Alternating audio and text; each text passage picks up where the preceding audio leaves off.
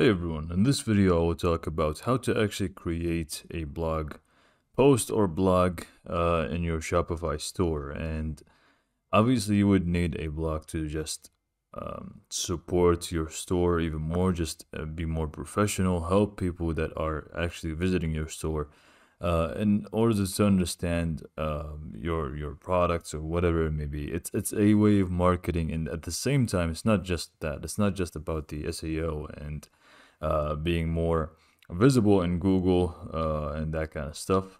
That is obviously a good thing about starting a blog, but it also is just something that just makes you more of an authority, if you know what I mean. So you really, I really suggest that if you have an online business with Shopify, that you actually go ahead and start your blog.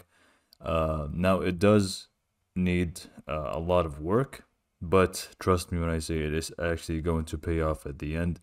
Uh, and then you can also use those blog posts that you have created to make sure uh, or to turn them into even more content. So you you just you just make an infinite loop of you create content and then you create content from that content, if you know what I mean.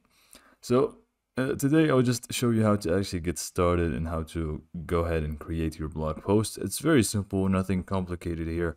I'm just going to show you the basics and there's not really much to say uh, about the blog uh, side of things here. So it's not going to be complicated. Just watch till the end and hope you have um, a benefited watching experience from this video. So to get started, you go ahead and open up your Shopify dashboard. From here, you will need to click on your online store. Here is going to be all the settings and stuff, the themes, pages, and that kind of stuff. But what we need is the blog posts. And here is going to be pretty much where uh, whenever you want to create a blog post, you come to this uh, section over here where you'll be able to do so. So you can just simply click on create blog post over here and this will take you to the page where you will be able to do so.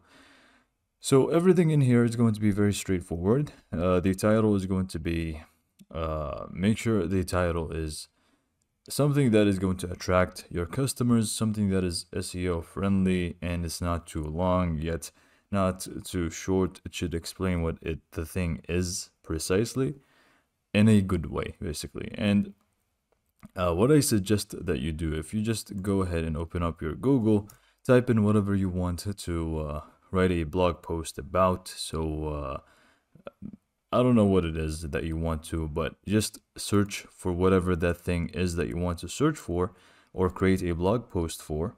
And then you just see the top searches and try to understand or try to, uh, I'm not going to say just copy them, don't copy them, just, you know, study how the titles are and how they look like and try to, you know, up the level on how they are, the top few searches. So this is going to be for the title. So just let's name this example blog post. Uh, so let's just name it this. So you know what I mean. Just look at the top uh, searches for what you want to write a blog post about and see what's really clicking and try to go with the same tone basically. Uh, within the content is going to be obviously everything about the blog post. Here, here is going to be where you write uh, and add images and if you want to add a video, all is going to be in here. So here, here goes all of the blog post content and uh, attachments.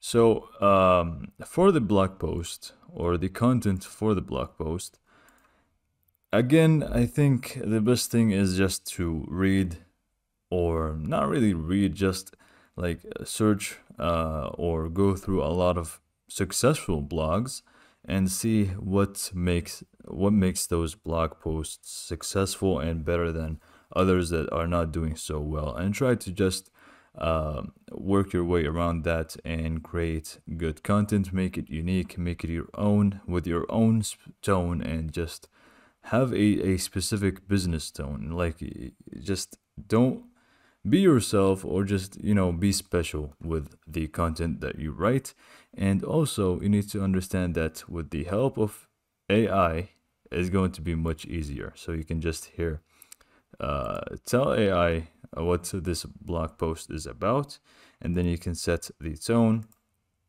And then obviously, if you have special in instructions, you can do it right here, and it's just going to write things for you. But what I suggest to do, uh, suggest that you do, even after you create using AI, is that you take your time to edit the blog post to be your own personal tone. Uh, I don't really suggest that you just paste off of AI all of the time.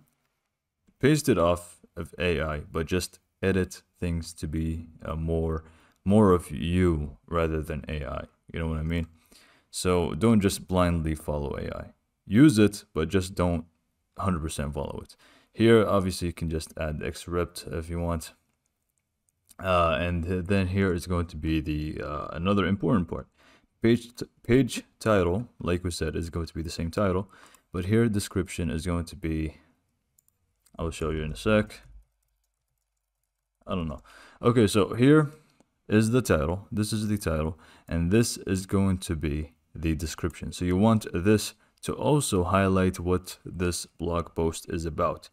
Don't make it too long, just just try to fit everything uh, in a few sentences on what this uh, blog post is about and what people are going to expect uh, from it. And then obviously URL handle, if you want to change that, you can do so right here.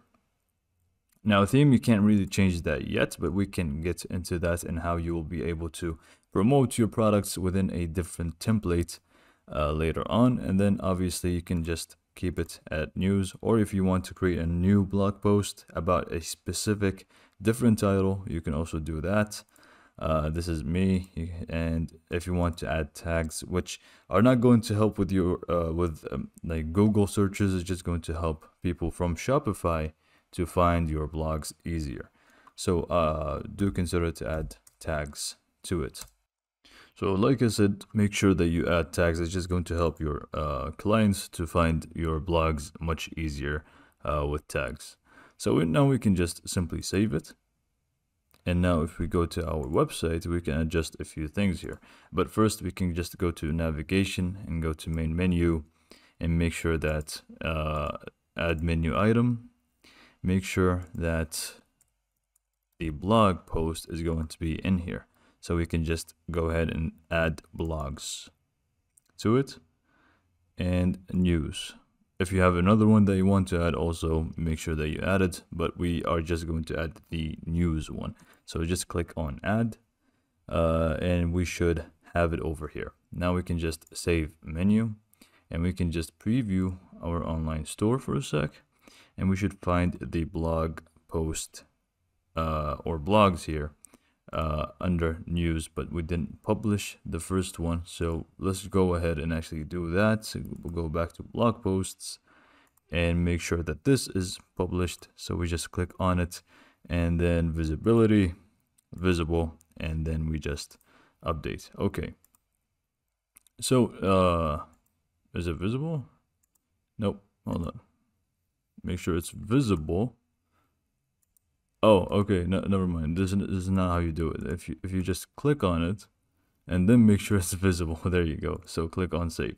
Uh, now, if we go back to our online store and view it, we should find it under here in use, and now we have the example blog post. Uh, but what we can do, we can just work also and make it a little bit better. Uh, not by adding an image. You can also do that. Let's just do that. Why not? So let's just do that and click on save. Just to make things more clear. But what I'm trying to do here is go to customize. And then if we just go ahead and click on a blog. Here we should, obviously the image is not fitting at, well, uh, at all, but you can just add an image that actually fits. But what I'm trying to do here is you can actually add a section to it uh, where you can add a product uh, or image banner or whatever it may be and it's just going to help you pr um, like promote. So for example if this blog post is about a specific uh, product that you have uh, listed within your Shopify, you can just add image banner or uh, collection or whatever it may be, and it's just going to help you promote this uh, item within the same blog post and you can add more and more elements by the way. Uh, you can do so freely but uh, at the end you can just go ahead and create uh, a template for it. Uh, and you can just save it.